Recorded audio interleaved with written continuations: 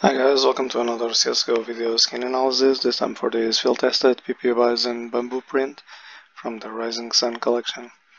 As you can see, there's somewhere, but you can clearly see all of the print and the panda bear there. I did one battle scar, and you can't even see the the red kind of sticker there. This one has a wear rating of 0.242. It's on uh, the commission collection, Rising Sun. Second, uh, that can be used by both teams, and we'll see it in action in a few moments. But uh, let me remind you that I'm doing these videos on a daily basis, so check out the channel.